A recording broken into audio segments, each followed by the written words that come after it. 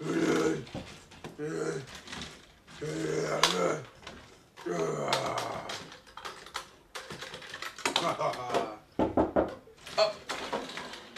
in. What's up, Pastor Josh? Hey, what's going on, JJ? How you doing, man? I'm good. I'm good. How are Mind you? if I talk to you for a second? Hey, go ahead. Sit right there. Yeah, man, the weirdest thing's been going on with my stomach. It's just been like, I hmm. ate a couple cookies, That's kind of and it's just like rumbling in my stomach. It's just been like the weirdest feeling. Yeah. Like, it's been so. Uh, are you are you gonna finish that that water?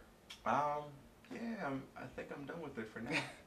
yeah, because I'm, I'm, I'm. It looks like you can finish that. I mean, it looks like you don't want to waste that. You gotta just push it off the sack. I mean, I, I can, but I just don't Ah, feel like don't it be a right pansy. You now. should you should finish that. I mean, I'm pretty sure I could finish that. Pansy?